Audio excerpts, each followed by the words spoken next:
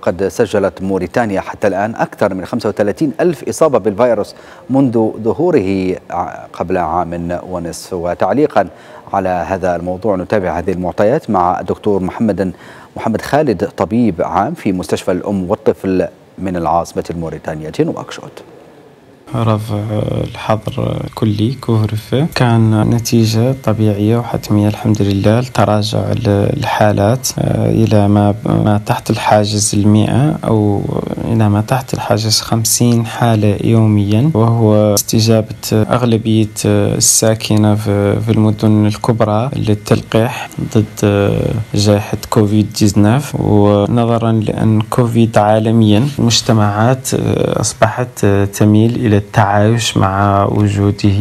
ودائما وزارة الصحة تؤكد على التباعد الاجتماعي وتكثيف التلقيح ووضع الكمامات في الأماكن العامة. وهذه الإجراءات هي التي ساهمت في رفع الحظر حظر التجوال الليلي الذي كان مفروض من الساعة صفر إلى الساعة السادسة صباحا. ونوصي بعدم نسيان آه، أن الجائحة جائحة خطيرة وقوية. قوية وذات آه، تهديد آه، حقيقي على الصحة العامة. بالتالي دائما دائما نكرر نكرر ونوصي بأن التباعد الاجتماعي ووضع الكمامات وتكثيف اللقاح هو الحل.